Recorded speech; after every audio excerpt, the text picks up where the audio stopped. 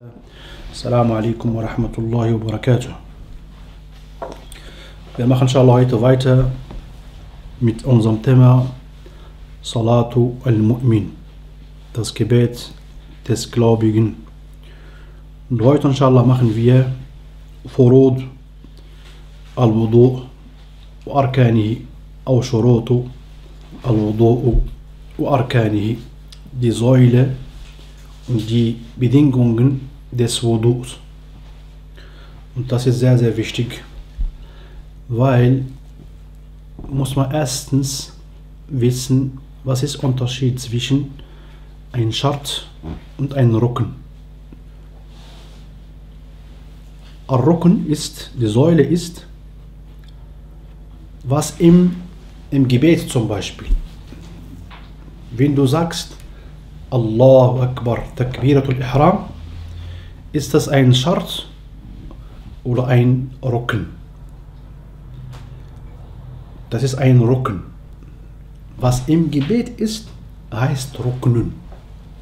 Und wenn du das nicht machst, dein Gebet wird nicht angenommen, ungültig. Wenn du kein Takbir al-Ihram machst, dein Gebet ist ungültig. Das heißt eine Säule, ein Rücken. Und Aschart ist immer außerhalb, was du machen willst. Zum Beispiel, du willst beten. Was musst du machen? Erstens, Wudu. Wudu ist ein Schart, eine Bedingung. Wudu heißt Schart. Und Takbiratul Ihram ist ein Rücken.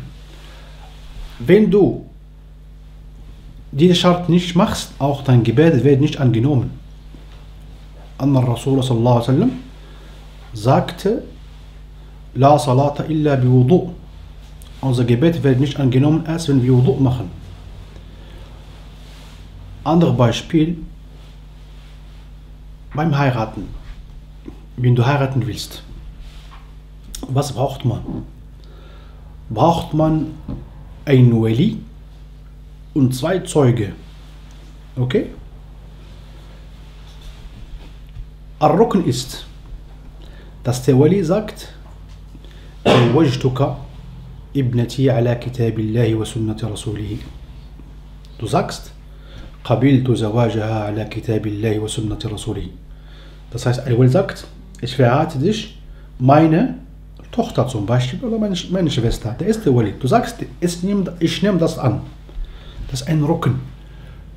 Al-Ijab wal-Qabul. Er sagt und du sagst, ich nehme das an. Aber diese zwei Zeuge sind auch Säule oder Bedingung. Die sind außerhalb von Heirat. Ein Nikah. Die sind Zeu diese, diese zwei Zeuge sind Bedingung. Bedingung, Schart. Und beide, wenn einer nicht gibt, diese Heirat wird nicht akzeptiert. Das heißt, Ash-Shartu wal-Ruknu, einer ist drin in diese Sache, was du machen willst. Und Aschad ist außerhalb. Aber wenn du nicht machst, deine Tat wird nicht angenommen. Wenn du keinen Schad machst, wird nicht angenommen. Wenn du keinen Rücken machst, auch wird nicht angenommen. Habt ihr verstanden? Okay. Das ist erstens. Furudu al-Wudu. Ehe Arkanu, diese Pflichte, die Säule,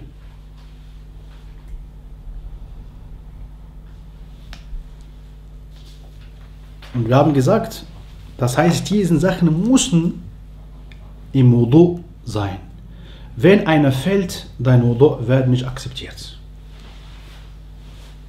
Wenn einer fällt, wird nicht angenommen. Und hier gibt es Meinung, Verschiedenheit zwischen Gelehrten. Manche Gelehrten haben gesagt, es gibt acht Säulen. Manche haben gesagt sechs, manche haben sieben gesagt. Aber je nachdem. Zum Beispiel, manche haben gesagt, ein Nier. Absicht ist ein Rücken, eine Säule. Manche haben gesagt, nein, es ist ein Schart, eine Bedingung. Hier gibt es Meinungsverschiedenheit. Manche haben gesagt, ein Nier gehört auch zum Gebet. Manche haben gesagt, ja, das gehört zum Gebet, aber das außerhalb von Gebet. Bevor du Allah Akbar sagst, du hast nie. Aber das ist kein Problem, Achid. Das ist kein, keine, kein Problem. Das werden wir auch inshallah lernen. Also erster Rücken ist, hier machen wir sechs Säule. Sechs Säule, die wichtig sind. Raslul. Gesicht waschen. Wenn du nicht Gesicht wasch, wäscht, dein, dein Wudu wird nicht angenommen. Wenn du ein paar Plätze in dein Gesicht trocken lässt, dein Wudu wird nicht angenommen. Und wenn dein Wudu nicht angenommen ist, wird auch dein Gebet nicht angenommen. Automatisch. Schau mal, wie das gefährlich ist, subhanallah. Okay? Al-Wajh, also ganz, wie wir auch letztes Mal gesagt haben, ganze Gesicht. Und von Gesicht ist was? Al-Istinshaq, ne? Nase, also Wasser, also deine Nase richtig ziehen. Ja? كما قال الرسول صلى الله عليه وسلم بالغ في الاستنشاق إلا أن تكون صائما das haben wir letztes Mal gesagt und auch Al-Madmada weil das gehört auch Gesicht Nase waschen und Mund waschen, genau, das ist auch Gesicht, gehört auch Gesicht. Nummer zwei.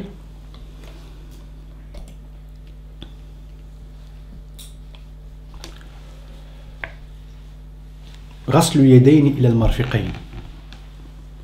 Also deine Hand waschen bis diese Ellen. Ellbogen, ja. Bis, bis Ellbogen, ja und noch besser ein bisschen über wie auch Abu Huraira radiallahu anh gemacht hat nicht übertreiben ein bisschen über dein Ellbogen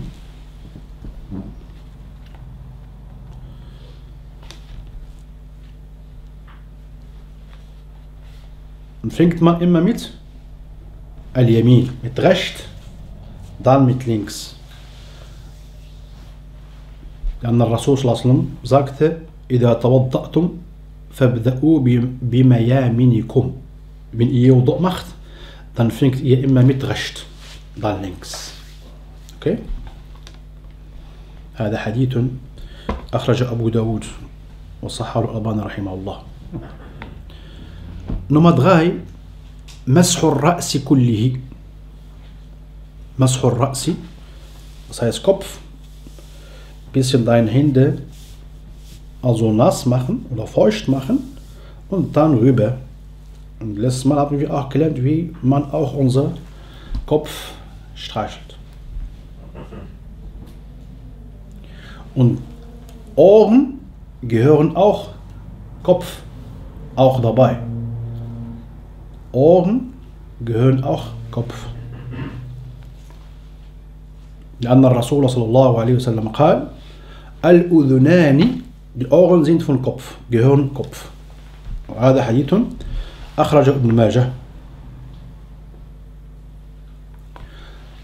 Und diese Kopf streichen gibt es drei Arten. Erste Art. Mashu Jami' al-Ras, ganze Kopf streichen so. Von Anfang hier, von deinen, wo die Haare also wächst, bis hinten. Deinen Nacken heißt das. Okay? لحديث عبد الله بن زيد أن النبي صلى الله عليه وسلم مسح رأسه بيديه فأقبل بهما وأدبر. Das heißt von hier, von Anfang hier bis hinten. وبدأ بمقدم رأسه ثم ذهب بهما إلى قفاه. Das heißt von vorne bis hinten. Auf einmal, also ganz Kopf. Okay? Das ist eine Art. Zweite Art ist المسح على العمامة المحنكة وحدها. Wenn jemand eine Amama hat, diese Turban, ja, darf man auch drauf streichen. Musst du nicht ausziehen. Ja, musst du nicht ausziehen. لحديث عمرو بن أمية عن أبيه قال رأيت النبي صلى الله عليه وسلم يمسح على عمامته genau wie auch wenn du Khaff anhast, du, du kannst oder du darfst auch drauf streichen. Auch genauso, wenn du eine Amame hast, du kannst auch drauf streichen, ist kein Problem. هكذا قال عمرو ibn Umayya, er hat selber gesehen, قال, ich habe Rasul sallallahu alaihi wasallam gesehen, er hat auf seine Amame, auf seinen Turban drauf gestreichelt, auch auf seine Khuf, auf seine, wie kann man sagen nachher diese? Sich, äh? ليدا زوكنيا توم باشبي ليدا زوكنيا وهذا حديث أخرجه البخاري. Und das werden wir inshallah auch äh, in zwei Wochen, glaube ich, machen, diese Masch al-Khuf. ويشترط للمسح على الأمامة وحدها أو عليها مع الناصية. ما يشترط للمسح على الخفين das heißt genauso was man oder wie man bei diese Ledersocken macht auch genauso bei der Imama okay الصفة الثالثة dritte Art ist المسح على الناصية والعمامة المحنكة das heißt ein bisschen so الناصية hier Das heißt, musst du ein bisschen deinen Kopf frei machen, damit diese, diese, das Wasser dein Haar ein bisschen anfasst und dann auf deine Imama. Okay?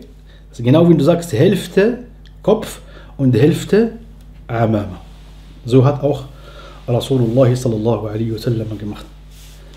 الحديث المغيرة ابن شعبة رضي الله عنه قال أن النبي صلى الله عليه وسلم توضأ hat وضوء gemacht Muhammad صلى الله عليه وسلم ومسح بناصيته وعلى العمامة das heißt er hat die Hälfte von seinem Kopf gestreichelt und auch auf seine Amama gestreichelt وعلى خفيه und auch auf seine Ledersocken وهذا حديث أخرجه مسلم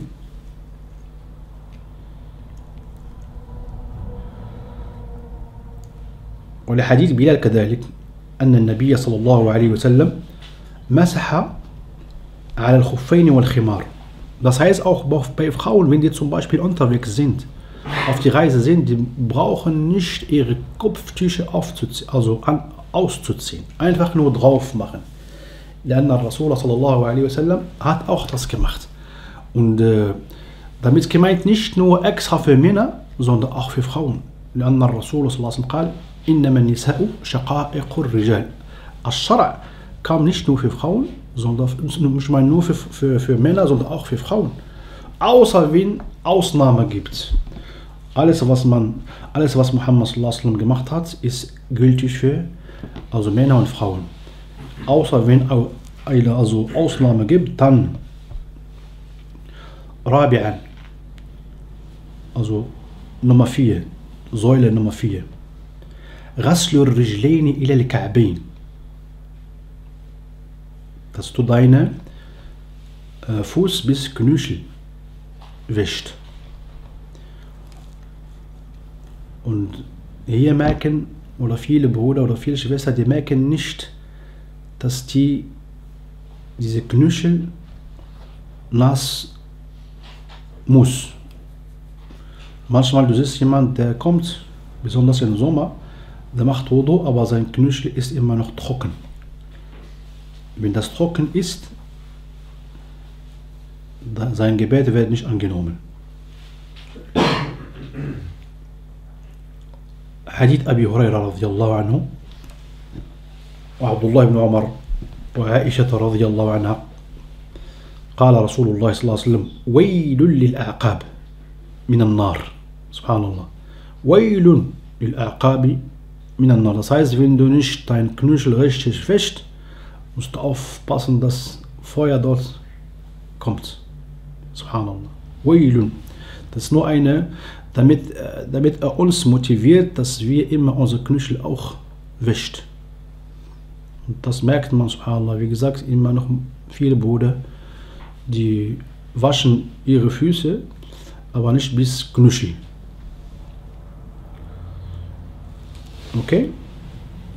Und diese vier Sachen, diese vier Säule, steht im Koran.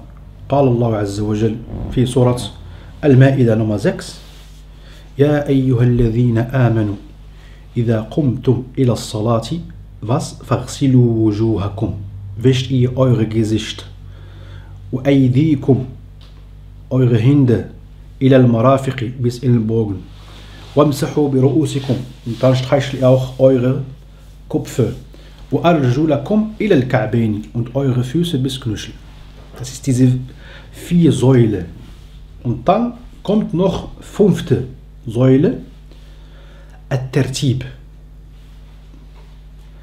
Tartib heißt diese Reihenfolge. Nicht wie du willst, nach deiner Hauer, dass du sagst, ich kann heute mit meinen Füßen anfangen und dann mein Gesicht und dann mein Kopf, also durcheinander. Wenn du so machst, dein Udo ist ungültig. Muss diese Reihenfolge genau sein, wie auch Allah in diesem Ei auch gesagt hat. Und wie auch Rasulullah auch Wudu genommen hat.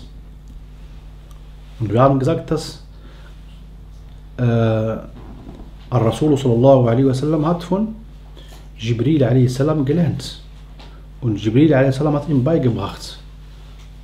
Genau so muss man machen. Nicht wie du willst. Okay?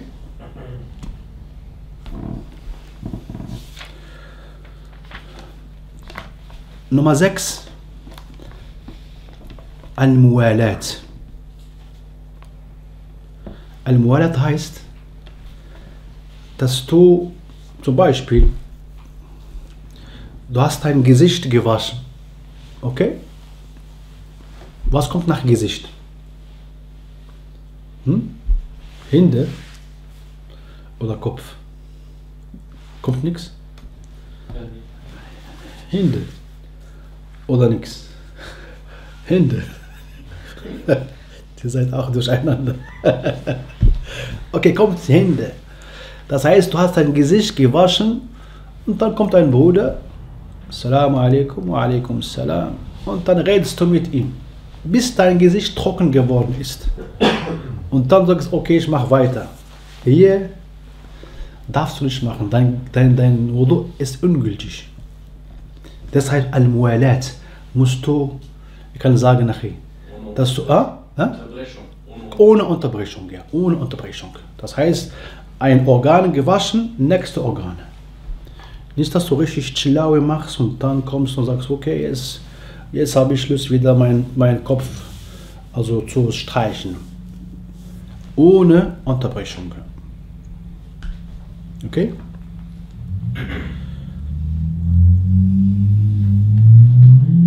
لحديث عمر بن الخطاب رضي الله عنه أن رجلا توضأ فترك موضع ظفر عند حديث موضع ذرهم على قدمه فأبصره النبي صلى الله عليه وسلم. صحيح أن صحابي? هات وضوء جمعت. أبا هات. اتفاس أين فلك دي إما نخ تخوكن إست هات نشت ناس جمعت wie zum Beispiel Knuschel oder Gesicht. رسول الله صلى الله عليه وسلم جزين كان كان معلم ديفاين ليغا دميت اي اوخ للصحابه باي برينجن فقال له الرسول فقال له الرسول صلى الله عليه وسلم ارجع فاحسن وضوءك جيت سوغك وما خرجتش وضوء جيت سوغك وما خرجتش وضوء فرجع ثم صلى Das heißt, dieser Bruder ist Raja hat Wudu gemacht, فصلى hat gebetet. Subhanallah das heißt er hat sein Wudu von vorne an wiederholt wie gefährlich das ist, subhanallah. Das heißt, wenn man Wudu macht, dann muss man richtig achten, dass alle Organe richtig nass sind. Wenn ein kleiner Fleck geblieben ist, besonders hier manchmal bei unseren Händen, meistens kommt nicht das Wasser hier, also durch meine ich. Ja? Ander Hadith, also erster Hadith steht in Muslim. Ander Hadith an Abi Dawud, an den Nabi sallallahu alaihi wasallam, ra'a rajulan, hat eine Sahabi gesehen. يصلي وفي ظهر قدمه لمعة قدر قدر الدرهم لم يصبها الماء. Er hat in seinem äh, Qadami, in seinem Fuß dass das ein Fleck immer trocken ist. فأمره النبي صلى الله عليه وسلم الرسول صلى الله عليه وسلم befohlen أن يعيد الوضوء والصلاة beide Weil dieser Bruder hat Wudu gemacht, hat Allahu Akbar gesagt, hat schon angefangen. Lakin Rasul sallam hat ihm befohlen, geht zurück und macht richtig Wudu, dann kommt zurück, dann kommt beten. Hadith أخرج أبو داود صحاب الألباني رحمه الله Das ist wie gesagt eine, eine Säule ist auch sehr wichtig. Das heißt, keine oder ohne Unterbrechung muss man auch Al-Wudu machen. Jetzt Shurutul Wudu, die Bedingungen von Wudu. Erstens diese Säule, was wir gesagt haben, wenn einer von uns das nicht macht, sein Wudu ist ungültig. Und wenn Wudu ungültig ist, unser Gebet wird auch nicht angenommen. Und auch genauso bei der Säule, bei den Bedingungen, bei Ash-Shurut. Shurut al-Wudu, Ashara, sind zehn. Erste Schart, Al-Islam. Dass du Muslim bist. Nicht, dass du ein Wolfi bist. Von einem Wolfi, auch wenn er zum Beispiel Wudu macht und betet, wird nicht von ihm angenommen. Weil er Wolfi ist. Okay? Al-Islam. Zweite Bedingung ist Al-Aql. Verstand. Dass du Aqil bist. لأن العبادة تحتاج إلى العقل. Nicht, dass jemand verrückt ist, der weiß nicht, was er macht. Al-Aql. ونحمد الله عز وجل على العقل الذي أعطانا أعطانا الله إياه. Das ist auch eine, eine Ni'ma. Diese, diese Ni'matul Aql, subhanallah. Ich sage immer, es gibt Menschen, die Aql haben, aber durch diese Aql, die sind in Jahannam gelandet. Das heißt, es ist kein Aql. Wenn dein Aql dich ins Feuer reinbringt, das ist kein Aql. Azza wa Jalla يقول وقالوا لو كنا نسمع أو نعقل ما كنا في أصحاب السعير فاعترفوا بذنبهم فسحقا لأصحاب السعير Das heißt, die werden, die Leute, die auch Aql gehabt haben, die werden in Jahannam sagen, wir hätten nur unser, wir hätten nur ge ge gehört oder nur unser Verstände benutzt, werden wir nicht hier landen, subhanallah. فاعترفوا بذنبهم فسحقا لأصحاب السعير. Zu spät, zu spät. Okay, At-Tamyiz. At-Tamyiz. Das heißt, eine, zum Beispiel ein, ein Kind, der weiß genau, um was geht. Nicht ein Kind, drei Jahre oder zwei Jahre, er macht alles durcheinander. Weißt du, Tamyiz heißt, dass man weiß, was man macht. Ja? Ein Kind, der zum Beispiel sieben Jahre, acht Jahre, der weiß genau, dass man jetzt Wudu macht. Alhamdulillah. Aber ein Kind, der noch, noch klein ist, jung ist, ist es kein Problem. Das heißt Tamyiz, Numayyiz ja? und An-Niyya. An-Niyya. Absicht. Und hier habe, habe ich euch gesagt, es gibt manche Gelehrten, die haben gesagt, Absicht ist von Säule. Und manche haben gesagt, nein, es ist von Bedingungen. Aber es ist klar, es ist ganz, ganz normal. النية لأن الله عز وجل يقول وما أمروا إلا ليعبدوا الله مخلصين له الدين النية gut Absicht. Ich habe euch auch ein Beispiel gegeben. Jemand, der zum Beispiel, ich kann euch sagen, jemand, der einfach, der ist Junub, Zum Beispiel jemand, der Junub ist. Er muss Janaba wegmachen. Aber als er im Bad war, hat geduscht, ganz normal geduscht. Und danach fällt ihm ein, dass er nicht Janaba weggemacht hat. Also ist, muss er nochmal Ghusl machen oder nicht? Doch, er muss machen. Er muss machen. Warum? Weil er hat geduscht, aber ohne Absicht, dass er Janaba wegmacht. Seine Dusche muss er nochmal wiederholen. Oder jemand, der zum Beispiel lernt, äh, der lernt, wie kann man Wudu machen und danach hat ohne Absicht, also Absicht diese Wudu gemacht. Danach wollte er also beten, auch genauso wird auch nicht von ihm angenommen. Warum? Weil er von Anfang an hat keine Absicht gehabt, dass er mit diesem Wudu betet.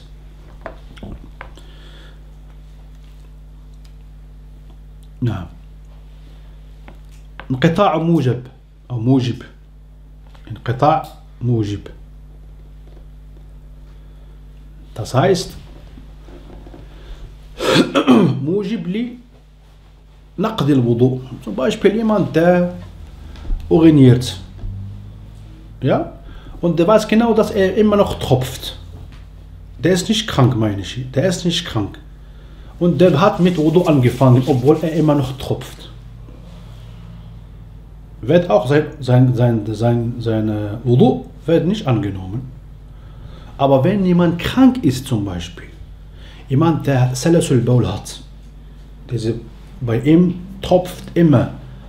In diesem Fall ist es kein Problem. Warum? Weil er einen Grund hat, weil er krank ist. In diesem Fall, auch wenn das tropft, er kann immer noch Wudu machen. Ich meine nur jemand, der nicht krank ist und der merkt, dass immer noch tropft, hier darf er nicht mit Wudu anfangen. Erst wenn er damit aufhört. Habt ihr verstanden? Alhamdulillah. Okay? استنجاء أو استجمار الاستنجاء أو الاستجمار الاستنجاء dass du sauber machst ja, wenn du in Toilette bist oder mit Wasser und al-Istijmar ist mit, mit Steine aber hier auch eine Sache es gibt viele Leute die wollen Wudu machen und die denken dass die immer sauber müssen muss man nicht braucht man auch nicht. Das ist nur Waswas ist das. Wann musst du, wenn du auch dein Geschäft in Toilette gemacht hast, dann ja. Oder zum Beispiel diese Luft musst du auch nicht waschen. Wenn diese Luft rausgekommen ist, muss man auch nicht in Toilette und dann extra wieder sauber machen. Nein.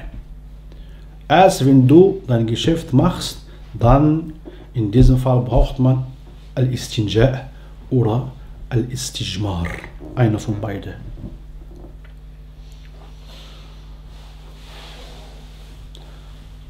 Welche Nummer jetzt? Hm? Vier.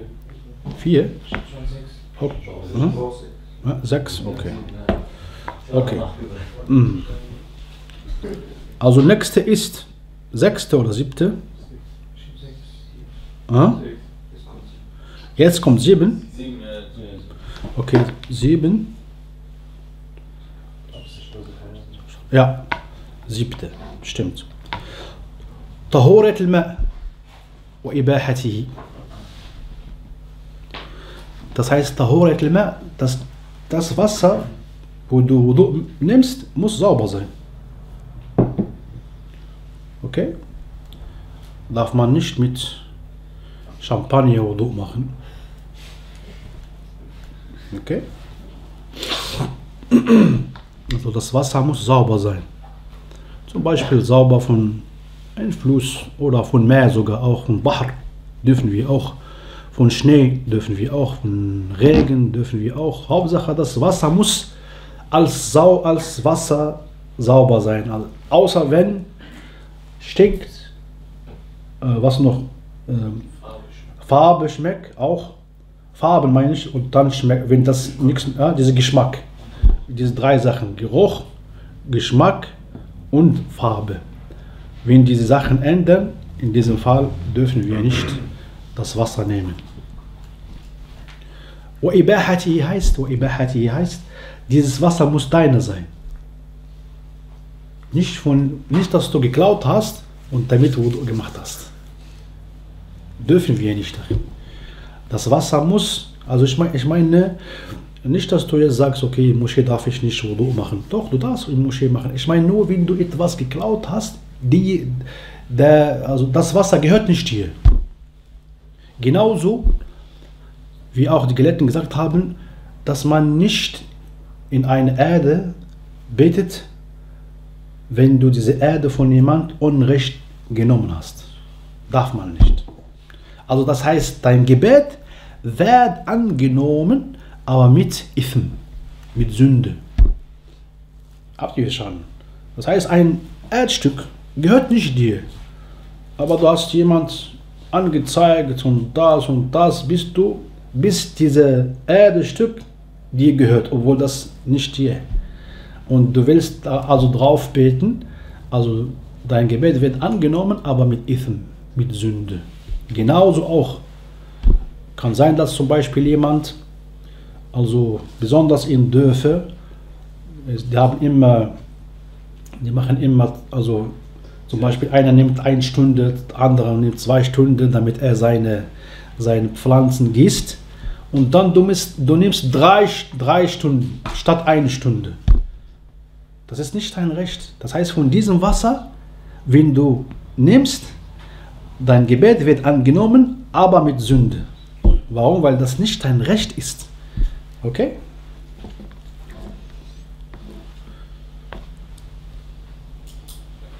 Nummer 9. وإزالة ما يمنع وصوله إلى البشرة. Was noch? Zum Beispiel, wenn du Creme in deinem Gesicht hast und diese Creme ist un, unsichtig, ja? Undur, un, Undurchlässig. undurchlässig.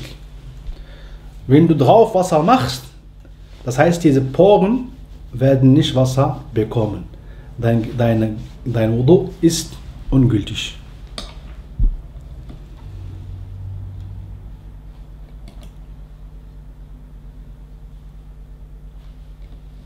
Okay?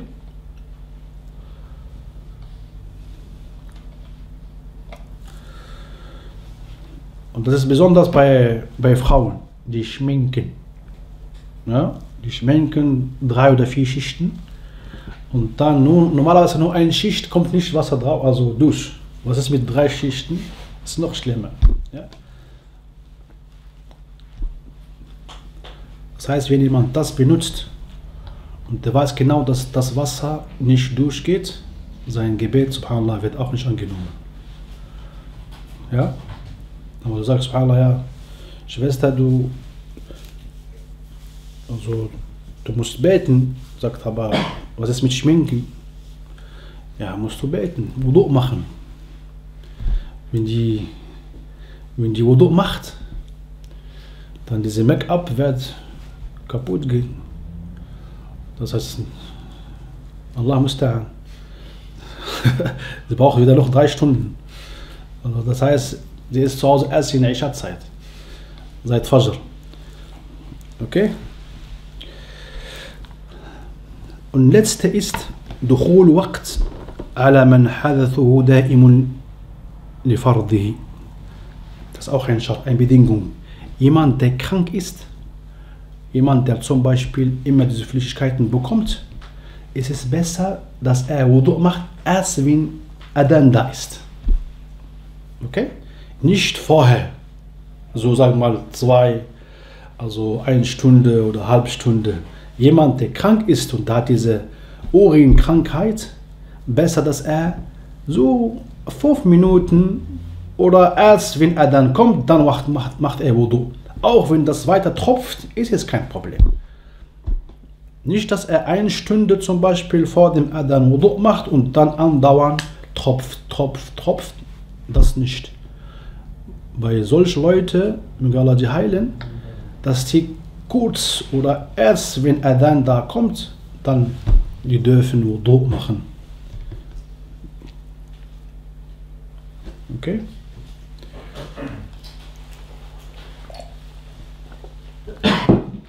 Nummer 6, Sunan al-Wudu. Die Sunan, was im Wudu sind. Erste ist, inshallah, heute machen wir ein bisschen schneller, deshalb, damit wir diesen Themen von Wudu fertig ist. Erste ist As-Siwak. As-Siwak benutzen. Das haben wir auch gesagt. Zweite ist غسل الكفين أول في أول الوضوء. Ja? Dass man erstens unsere Hände waschen, besonders wenn du vom Schlafen aufgestanden bist. Bevor du deine Hände in den Eimer reinmachst, wasche erstens deine Hände, dann. Nummer drei, Ad-Dalk, dass man richtig reibt. Ja? Nicht einfach nur Wasser durch und dann einfach so. Nein. Muss nass sein, aber trotzdem musst du richtig reiben. Okay? Musst du richtig reiben.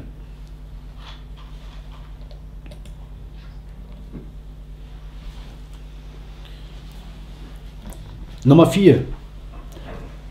Tathlitu al-Rasli fil wudu. Dass man dreimal unsere Hände zum Beispiel, diese dreimal Sachen, was man macht und wir haben auch gesagt man darf auch zweimal unsere Hände waschen unser Gesicht auch waschen zwei zwei und gibt es auch ein Hadith nur einmal darfst du auch machen je nachdem und wie die Lage ist wenn Wasser genug gibt dann mach dreimal wenn nicht, dann mach einmal reicht.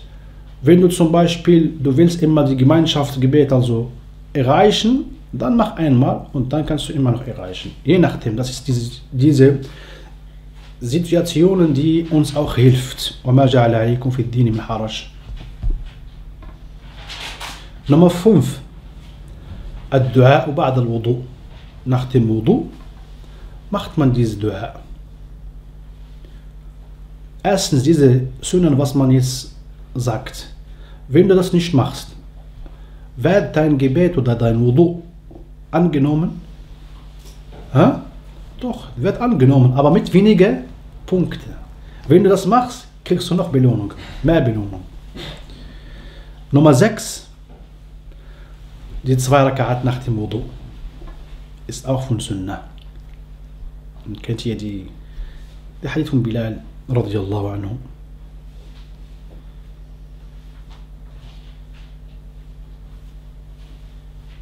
Okay? Nummer 7. الاعتدال في الوضوء مع الإصباغ لصما نزو في الباصة فاش بندت إن المسلمين أو إن المبدلين كانوا إخوان الشياطين. عن عائشة رضي الله عنها قالت أن رسول الله صلى الله عليه وسلم كان يغتسل من إناء. تات رسول الله صلى الله عليه وسلم mit von einem Eimer غسل Rüssel gemacht. Diese Sünde ist auch ausgestorben. من الجنابة. أوكي و das war ungefähr so 2 Liter. Diese Richtung سبحان الله 2 Liter. عن أنس قال رضي الله عنه قال كان النبي صلى الله عليه وسلم يتوضأ بالمد. يتوضأ بالمد heißt mit halb Liter macht er wudu ويغتسل بالصاع إلى خمسة أمداد. Und die Gelehrten haben auch also richtig gemessen wie viel das ist also da haben gesagt beim Wudu ist halb Liter beim Russel ist zwei Liter das ist un unglaublich jetzt sogar gar eine, ein, eine, ein Tabi'i hat ein Sahabi gefragt wie hat Muhammad geschafft, mit zwei Liter zu waschen? Sagte er, ich kann das nicht machen. Das ist mir wenig. Und dann sagte, sagte ihm die Sahabi, er hat ihm gereicht, obwohl er lange Haare gehabt hat, länger als deine Haare. Und trotzdem hat ihm erreicht, also gereicht. Also ich kann jetzt sagen, nach Allah was wir hier mit Wasser machen. Subhanallah. Okay?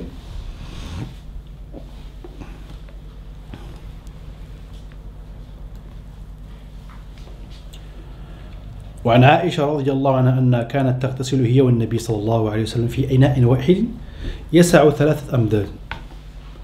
كانت أنظمتها سيفا ولا زهات مت محمد صلى الله عليه وسلم أوخ مفون جلايش أيما أوخ جيفاشن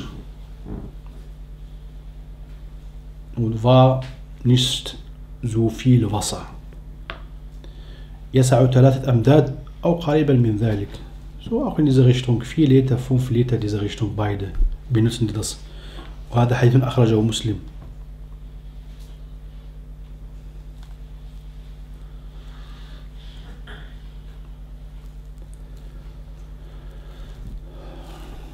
Inshallah heute reicht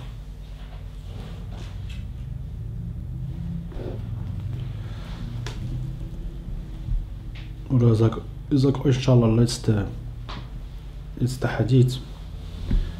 عن عبد الله بن مغفل أنه سمع النبي صلى الله عليه وسلم يقول صحيح ترى صلى الله عليه وسلم اين مال دات über uns jetzt geredet إنه سيكون في هذه الأمة. قوم يعتدون يعتدون في الطهور والدعاء.